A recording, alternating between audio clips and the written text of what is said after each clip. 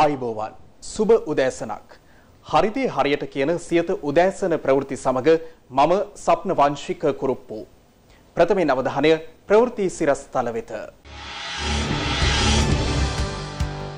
දේශපාලනය පගාව අල්ලස සහ බලපුළුවන්කාරකම් වලින් නීතියෙන් ගැලවුනත් අටලෝ දහමින් ගැලවීමක් නැති බව බුද්ධ දේශනාවට අනුව අද ටෙලිවැකියෙන්. තුන්වැනි ජාතිකරෝහල කරාපිටියෙන්. ප්‍රථමයෙන් දේශීය පුවත්. කරාපිටිය ශික්ෂණ රෝහල ජාතික රෝහලක් බවට පත්කිරීමට කැබිනට් අනුමැතිය හිමිව තිබෙනවා. ඒ ඇතුළු කැබිනට් මාධ්‍ය හමුවේදී පළ වූ අදහස් වෙතයි දැන් අවධානය.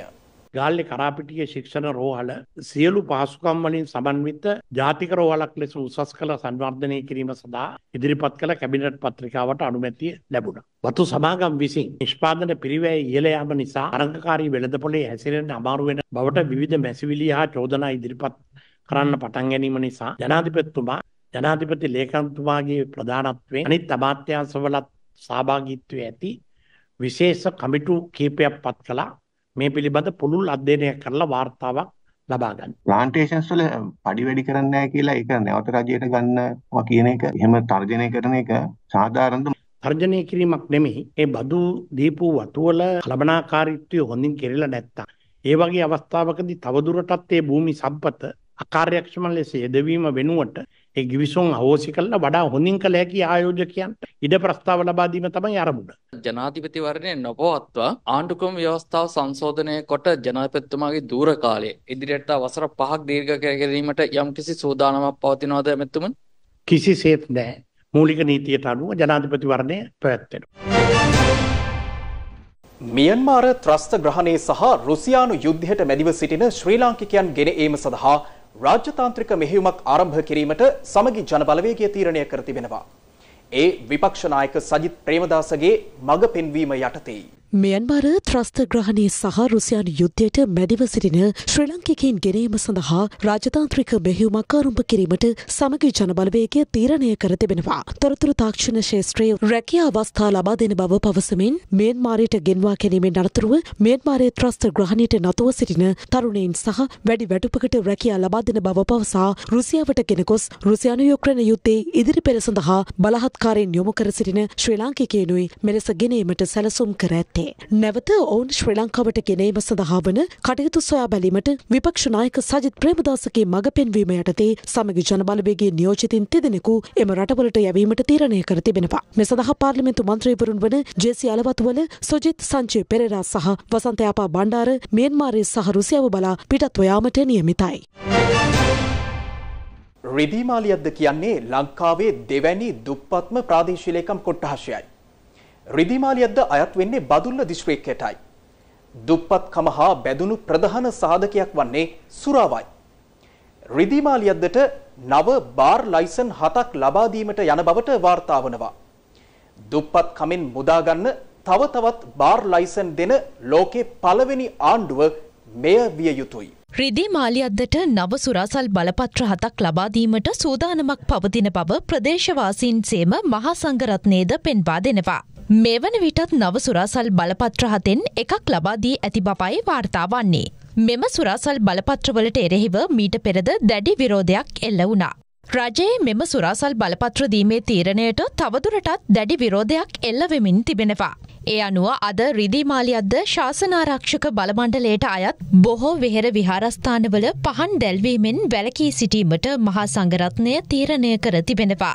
වෙසක් කූඩු වෙසක් සැරසිලි ආදිය මෙන්ම බෞද්ධ කොඩි එසවීමෙන්ද වැලකී සිටීමටයි තීරණය කර ඇත්තේ. අද වෙනකොට පන්සල් වල තැරසිලි සිදු කරලා නැහැ. අපි පෙන්වන්නේ අපේ අහිංසක විරෝධයක්. ජනාධිපතිතුමන් කතා කරන්නේම මිනිසුන්ගේ දරිද්‍රතාවයේ ප්‍රශ්නයක් කියලා. මත් වතුර වලින් කාට හරි කෙනෙකුට සෙතක් වෙලා තියෙනවා. බහිරවයන් ගන්නවාගේ අපේ අහිංසක මිනිසුන්ගේ තියෙන සොච්චම තාපු හර යනවා. මේ අපරාධේ කරන්න එපා. මේ ප්‍රධාන අපරාධයක් ඇත්තටම. ඇවිල්ලා පරීක්ෂා කරන්න රිදී මාධ්‍ය මිනිසුන්ගේ ආර්ථිකයට මොකද්ද වෙලා තියෙන්නේ කියලා. හැම වගාවක්ම අසාර්ථක වෙච්ච වෙලාවක ඒ දුකට බීලා මැරෙන්නද මේ දෙන්නේ. මිනිසුන් මරලා දුප්පත්තු නැති කරන එකද අරමුණ. මේ කරන වැඩේ තාමත්ම කනගාටු දායකයි. දිනකට හාල් කිලෝයක හොයාගන්න අහිංසක මිනිසු ජීවත් වෙන සමාජයක අපේ අනාගත පරපුර විනාශ කරන්නට මේ දරන ප්‍රයත්නයට අපි ඇත්තටම විරුද්ධයි. සම්බුදු තෙමගුල සමරන දවසක රිදී මාලියද්දී කිසිම විහාරස්ථානයක වෙසක් සැරසිලි සහ වෙසක් උත්සව පවත්වන්නේ නැති තත්වයකට පත් වෙලා තිබෙනවා. බොහොම අමාරුවෙන් ගොවිතැනක් කරලා ජීවත් වෙන මිනිස්සු කොටාසයක් ඉන්නේ. දෙමව්පියෝ දරුවන්ට අධ්‍යාපනය දෙන්න පුදුම දුකක් විඳින්නේ. එහෙම තිබියදී ඒත් මොකටද මේ රිදී මාලියද්දට මේ සුරාසැල්? මේ සුරාසැල් අපිට එපා. වගකිය යුතු හැමදෙනාගෙන් ඉතාමත් කරුණාවෙන් ඉල්ලා සිටින්නේ මේ සුරාසැල් රිදී මාලියද්ද ප්‍රදේශයටම අවශ්‍ය නැහැ දූෂණය වංචාව නාස්තිය අක්‍රමිකතා සහ අකාර්යක්ෂමතාව ගැන රටට ඇත්ත කියන ටෙලිවිෂන් ටෙලිවැකිය දැන්. ටෙලිවිෂන් ටෙලිවැකිය අද ලියන්නේ පන්සිය දහවන ටෙලිවැකිය. ලොවතුරා බුදුරජාණන් වහන්සේගේ උත්පත්තිය බුදුවීම සහ පිරිනිවන් පෑමේ මහත් තෙමගුල සිහිකරන දවස. අද වගේ දවසක සිදුහත් කුමාරය බුද්ධත්වය ලැබීමෙන් පසු දේශනා කළ පල්ලමු ප්‍රීතිවාකයෙන් ටෙලිවැකිය ආරම්භ කරමුණේද. බොහෝ කාලයක් මේ සංසාරයේ ඉපිද ඉපිද ඇවිද්දෙමි. බොහෝ කාලයක් මේ සංසාරයේ ඉපිද ඉපිද ඇවිද්දෙමි. එසේ ඇවිද්දේ මේ පංචස්කන්දය හදන වඩුවා කෞුද කියලා සොයා ගැනීම සඳහායි. එය සොයාගත්තෙමි ඒ වඩුවා තෘෂ්ණාවයි. ඒ වඩුවා තෘෂ්ණාවයි තන්හාවයි. සියලු කැනිමඩල විනාශ කළමි දැන්මා නැවත ඉපදෙන්නේ නැත. නැවත ඉපදීමක් නැත. ඔවු තෘෂ්ණාව නැති කළ තැන නැවත ඉපදීමක් නැත කියල තමයි මේ බුදුරජාණන් වහන්සේ පළමුුවෙන්ම දේශනා කළේ. උපදින්න උපදින්න මේ සංසාර ගමන ඉවර වෙන්නේ නැහැ. ඉපදීම නැතිකිරීමට නම් තෘෂ්ණාව නැතහොත් තන්හාාව නැති කළ යුතුමයි කියන පණිවිඩිය තමයි බුදුරජාණන් වහන්සේ අපට මුලින්ම පහදල දුන්නේ. බුදුරජාණන් වහන්සේ උපතලද බුද්ධත්වයට පත් ඔය භාරතීය සමාජය තුළ එකල විවිධ වූ මිත්‍යා දෘෂ්ටික වාද විවාද පැවතුනා. විශ්වාසයන් පැවතුන හරියට අද අපේ සමාජය තුළ වගේ. හොඳේ අද වන විට බුදුන් දෙසූ දහම වෙනුවට බුදුරජාණන් වහන්සේ උත්පත්තියලද්දේ කොහේද බුදුරජාණන් වහන්සේ දේශනා කළේ මොන භාෂාවෙන්ද බුදුරජාණන් වහන්සේ ලංකාවට වැඩියද ඒ වැඩියේ කොහොමද ආදී මහා නිස්කාරණ මතවාදවල අපේ සමහරුන් පැටලී සිටිනවා. මාධ්‍යත්තේ සඳහාව වැඩි කාලයක් වෙන් කරමින් ඉන්නවා. නමුත්න් එදා බුදුරජාණන් වහන්සේ දේශනා කළ චතුරාර්ය සත්‍යය අද අපට ඇත්තටම මතකද කියන තරමටම අපේ ජීවිත ලෞකික වෙලා. දුක දුකට හේතුව දුක නැතිකිරීම දුක නැතිකිරීමේ මාර්ග වෙනුවට අප බුදුරජාණන් වහන්සේගේ ඒ නිර්මල ධර්මය තුළම විවිධ තර්ක විතර්ක මැද දුකම හොයාගෙන යනවා දුකම හොයාගෙන යනවා නේද. ශ්‍රී බුද්ධවර්ෂ දෙදස් පන්සිය හැට අටක් ගිය තැනත් බුදුරජාණන් වහන්සේ අත්හල දේවල් මහා තදින් එලෝ එලෝ බදාගන්නට අපේ ඇති කැමැත්ත බලන්න එදා භාරත සමාජයේ වෙලාගෙන තිබුණු කුලවාදේ බුදුරජාණන් වහන්සේ ප්‍රතික්ෂේප කළා. කිසිදු මිනිසෙකු උපතින් වසලයකුවත් බ්‍රහක්මණයකුවත් වෙන්නේ නැති බව කිව්වා. මිනිසා මිනිසෙකුද නැද්ද යන්න තීරණය කරන්නේ ක්‍රියාවෙන් බවයි එදා උන්වහන්සේ දේශනා කළේ. ඒත් අදත් අප කුලවාදය කරපින්නගත්ත ජාතියක්. ඒක ගිහි පැවිදි කියලා වෙනසක් නැති තරමටම අපට අත්හරින්ට බැරිවෙලා තිබෙනවා. බුදුරජාණන් වහන්සේ තමයි මේ ලෝකේටම ගැලපෙන පොදුනීතියක් හඳුන්න ලදුන්නේ. අද ඔය ලෝකයේ විවිධ රාජ්‍යයන් තම ආගම්වලට තම තමන්ගේ දේශ දේශාන්ත්‍රවල විවිධ සීමාවන්ට ගැලපෙන ආකාරයට නීති සකස් කරගන්නවා. නමුත් බුදුරජාණන් වහන්සේ දේශනා කළ නීතිය මෙලවසේම පරලව ජීවිතය සඳහාත් එකසේ වැදගත් එකසේ වැදගත් හොඳේ පරපණ නසන්න එපා. අදත්තාදානය ඒ කියන්නේ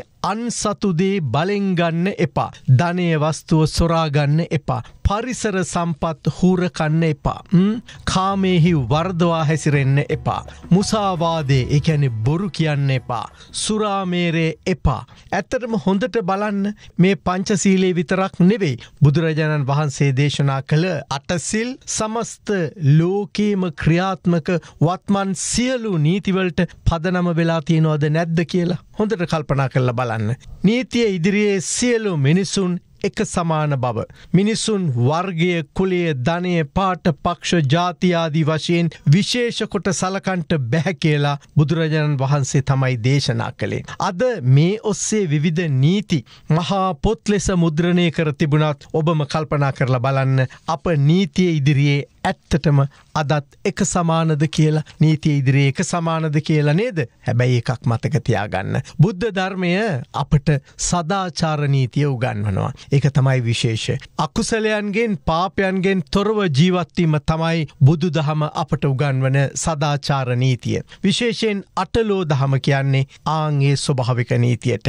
ලාභ අලාභ යස අයස නින්දා ප්‍රසංසා සැප දුක මේ තමයි අටලෝ දහම.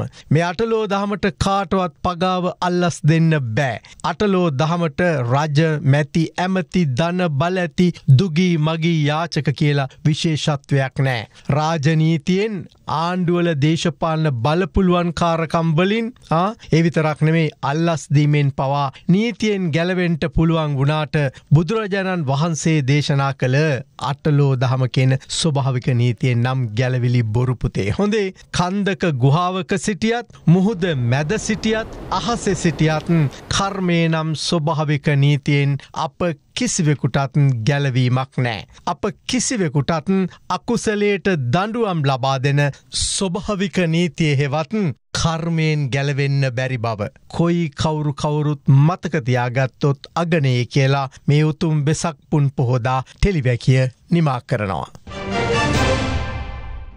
ඒත් සමගින් සියත උදෑසන ප්‍රවෘති මින් නිමාවට පත්වනවා. හමුවමු මධ්‍යහන දොළහට. ඔබට සුබ දවසක්.